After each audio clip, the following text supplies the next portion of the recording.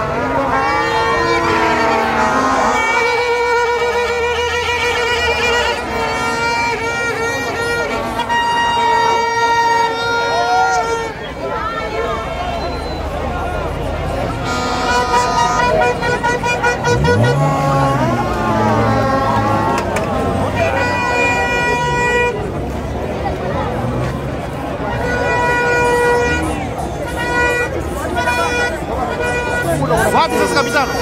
Au hapa, sasa nitoe vifaa ndio mwenye kazi.